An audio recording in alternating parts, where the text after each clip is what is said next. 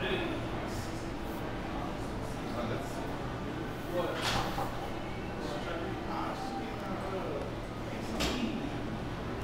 they don't have. Well, I guess they probably wouldn't, but I'm sort of surprised they don't have an iPhone over here. You know, isn't AT and T the only one that sells iPhones right now? Well, I'm just hooked up to this. Oh, that would be the ultimate irony, wouldn't it?